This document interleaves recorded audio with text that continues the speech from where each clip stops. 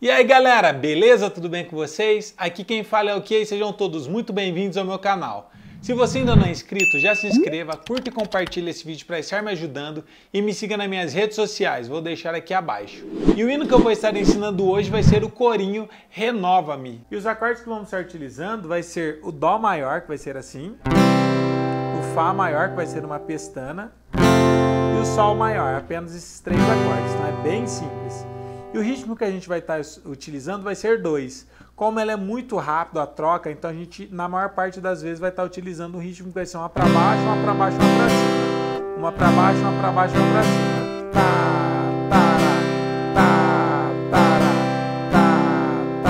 tá. E em alguns momentos, acho que em um acorde só, na parte do Fá maior, que às vezes a gente vai estar utilizando o ritmo mais comprido, que vai ser duas para baixo, para cima, duas para baixo, uma para cima, duas para baixo, duas para cima, duas para baixo, uma para cima.